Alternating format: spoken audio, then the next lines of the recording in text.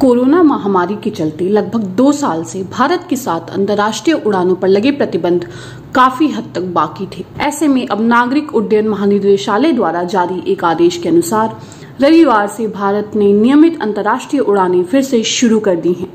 दरअसल कोरोना के मामले घटने से सभी पहलुओं की समीक्षा के बाद सरकार ने अंतर्राष्ट्रीय यात्री विमान सेवा बहाल करने का फैसला लिया है। आदेश में कहा गया है कि शेड्यूल फॉरेन करियर्स ने अपने अंतर्राष्ट्रीय शेड्यूल की मंजूरी के लिए आवेदन किया है। समय शेड्यूल 2022 इस साल 27 मार्च से 29 अक्टूबर तक प्रभावी था। मॉरिशस, मलेशिया, थाईलैंड, तुर्की, संयुक्त राज्य अमेरिका, इराक और अन्य सहित 40 देशों की कुल 60 विदेशी एयरलाइनों को समर शेड्यूल 2022 के दौरान भारत से और भारत के लिए सत्रह फ्रीक्वेंसी संचालित करने की मंजूरी दी गई है।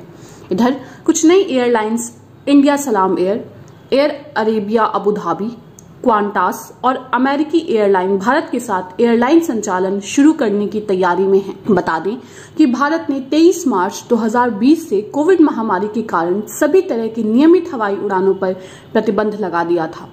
बाद में घरेलू उड़ानों पर से प्रतिबंध हटा दिया गया, लेकिन इंटरनेशनल फ्लाइट्स पर ये प्रतिबंध लगे रहे।